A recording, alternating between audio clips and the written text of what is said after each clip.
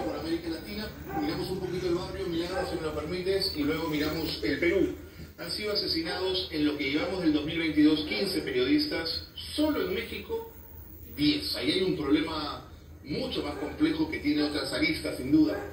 En el Perú no hemos tenido, afortunadamente, noticias de asesinatos, pero sí son múltiples las voces que señalan los enormes riesgos que corren los periodistas, sobre todo el interior del país, en la cobertura de los temas ligados con minería ilegal, con tala ilegal, con trata de personas. ¿Qué te dicen estas cifras, Milagros? ¿Qué te dice esta situación?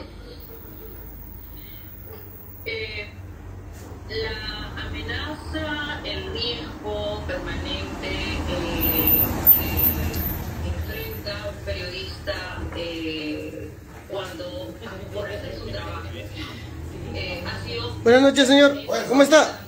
Buenas noches. Ah, ¿Cómo está? Buenas noches. ¿Cuál es su nombre, disculpe?